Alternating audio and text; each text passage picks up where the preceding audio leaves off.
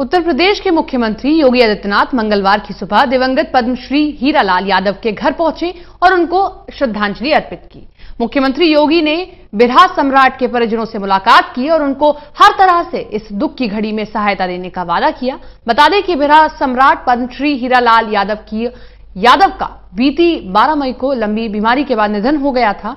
उनकी पत्नी अभी भी अस्पताल में भर्ती हैं और ज़िंदगी और मौत के बीच जूझ रही हैं।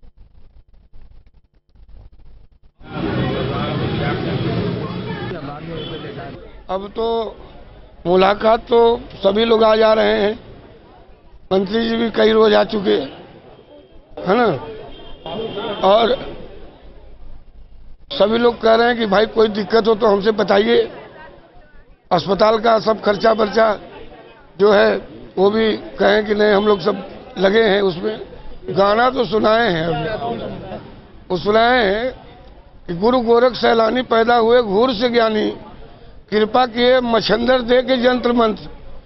हैं, कमरू प्रदेश जादू का खजाना दोस्तों, पैदा हुए गोरख गुरु मस्ताना दोस्तों। उनके गुरु जो है, माननीय जोगी जी के, वो कहाँ पैदा हुए, कैसे पैदा हुए, उसके बारे में उनको सुनाया हूँ। और एक तो सुना दिया हूँ कि ना ही भयल, ना ही होई, हमारा